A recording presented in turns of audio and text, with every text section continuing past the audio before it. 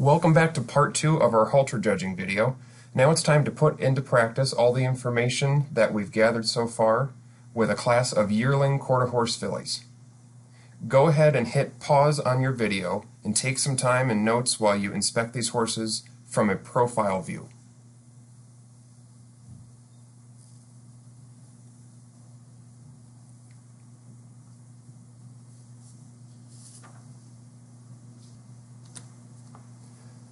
Now here are the same four horses displayed from a hind view.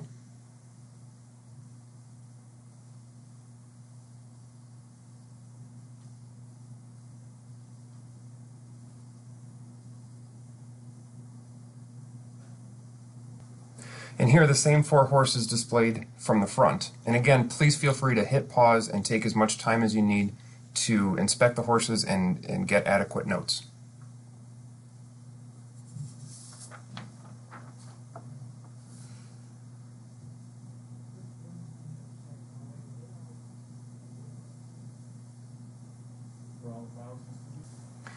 And let's take one last look at a profile view while you make your final decision and place the class.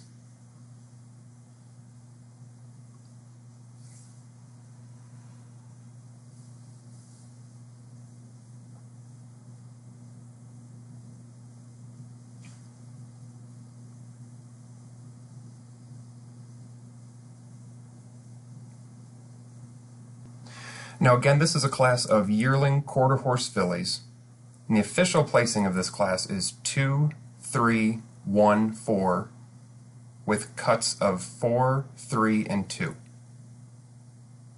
Again, the official placing 2, 3, 1, 4, with cuts of 4, 3, and 2. And I'm going to go ahead and talk through this class and explain a sample set of reasons as I do. I'm beginning with an opening statement Someone may use Sir or Ma'am, I place this class of yearling quarter horse fillies 2314. Simple and to the point. A top pair, again comparing those first two horses. I begin with 2 over 3, as she best combines balance and muscling. Her shortness of back, length of underline, and depth of heart better combine to give her a more balanced appearance when viewed from the side. She has a longer, cleaner neck that balanced into a smoother, more sloping shoulder. She was heavier muscled at every angle. She had a greater amount of muscle expression from her forearm and pectoral region. When viewed from behind, she was wider from stifle to stifle and had more bulge to her inner and outer gaskins. In addition, she was longer hipped, carrying more muscle over a lower portion of her quarter. Now moving into a Grant statement, Grant 3, the second place horse. So I realized that the Palomino was more nearly level. Now you're going to fault the second place horse. But I fault and place her second as she was weak backed. Then you would move into a middle pair.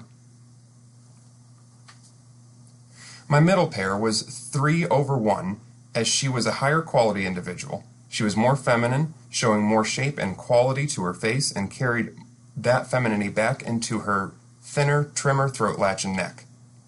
Her longer, cleaner neck tied higher into more desirably sloped, shoulder.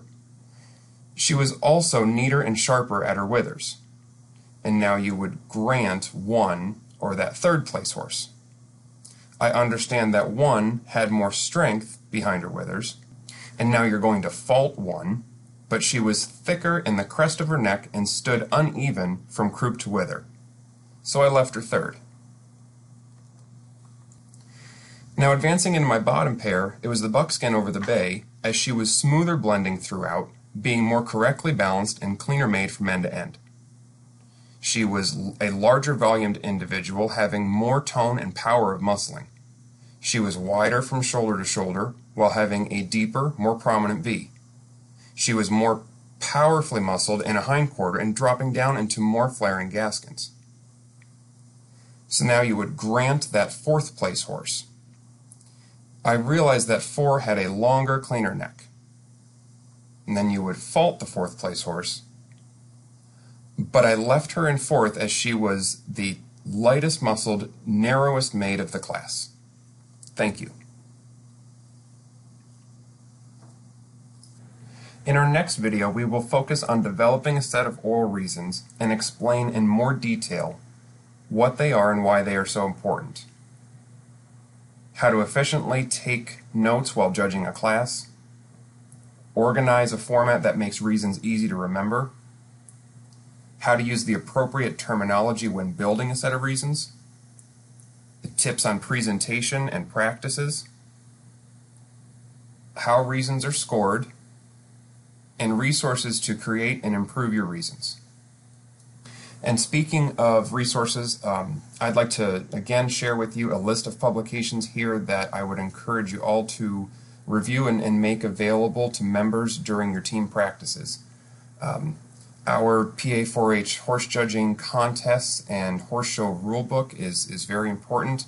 Uh, the different breed association rule books and judging manuals, a lot of them are available online for free that you can download and print yourself or call the organizations and they may make them free to 4-H members. Um, also, you know, other universities and colleges have uh, judging manuals themselves.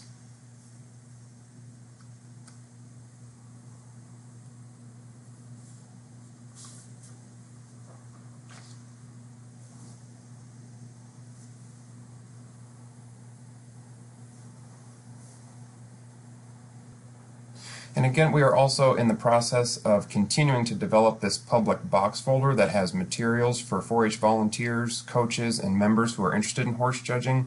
Uh, this would be a great resource for a team who's also just getting started, and we'll continue to add more information into this folder as, as time progresses.